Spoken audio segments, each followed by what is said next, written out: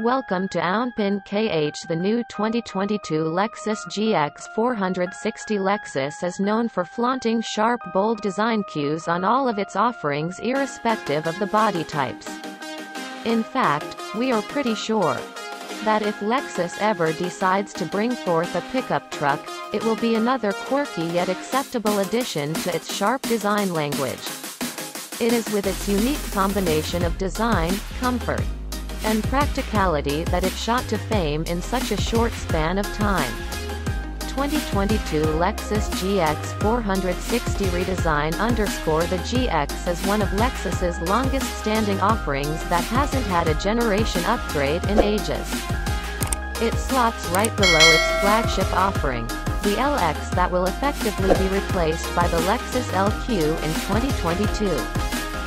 The 2021 Lexus GX still thrives on the second generation GX that was introduced way back in 2010. It is quite impressive for an 11-year-old platform to be vaguely relevant in this age of fully electric and hybrid platforms from all major automakers, including its parent, Toyota.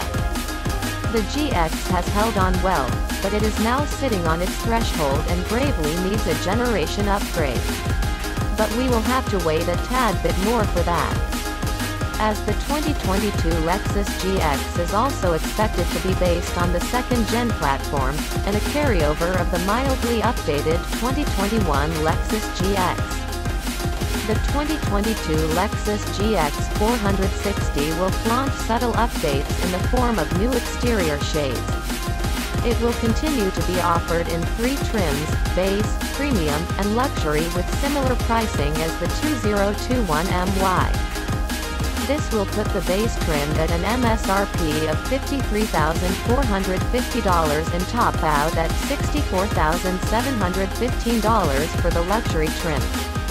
With the 2022 Lexus GX, the SUV will enter into its 13th MI which is quite a drag. Hopefully.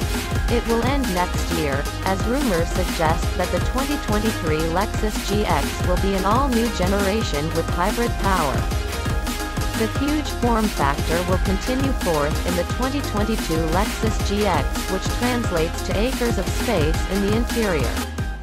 The cabin was always the strong point for the Lexus GX.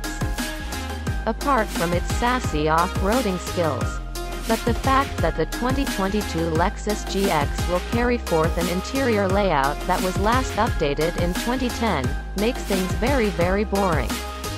Comfort is top-notch. But only in the first row.